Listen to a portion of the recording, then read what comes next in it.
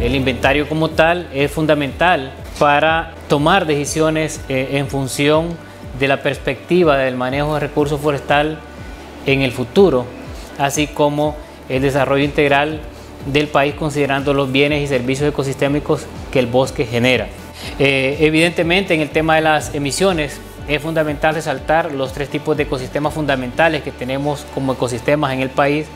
el de coníferas, el latifoliado y el de mangle, siendo este último el más importante en el tema de emisiones, puesto que eh, considera la mayor cantidad de fijación de carbono.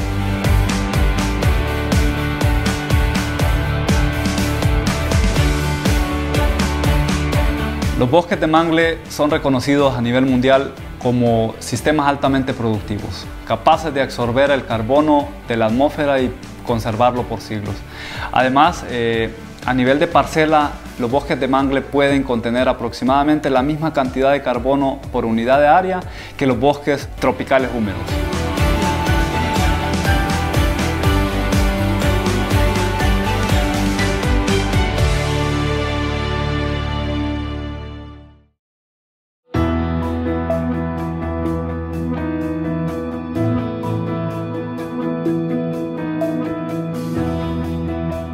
Es Honduras, pues, el país de Centroamérica eh, que mayor cantidad eh, de bosque de mangle tiene. Reconociendo la importancia de este ecosistema, eh, pero también de la gran amenaza por el acelerado cambio de uso de suelo, es así que el 2017 el ICF inició con un esfuerzo de monitoreo mediante el establecimiento de 60 unidades de muestreo permanente como parte de nuestro inventario nacional. Honduras podrá conocer el estado que guardan estos ecosistemas hoy en día y en el tiempo, así como comprender la diversidad de bienes y servicios que proveen, además de generar mecanismos de gestión y política pública para la adecuada conservación. Nuestros bosques de mangle eh, son el origen de gran parte de la vida marina.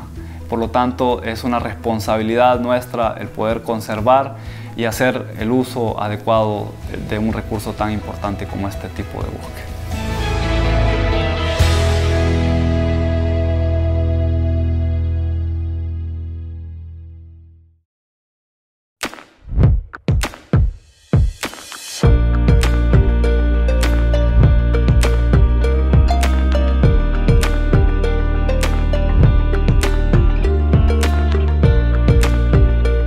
El Inventario Nacional Forestal es un instrumento fundamental para medir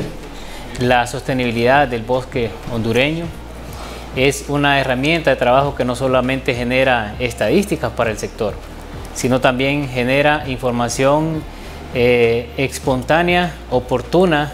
y muy coherente para la toma de decisiones y la medición de los cambios eh, en el sector forestal con relación a los ecosistemas que manejamos genera información valiosa para el sector, tanto en la parte industrial como social,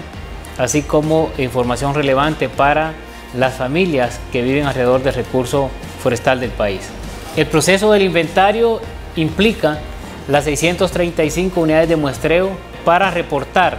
el factor de emisiones del sector forestal como un compromiso de país ante la Convención Marco de las Naciones Unidas contra el Cambio Climático.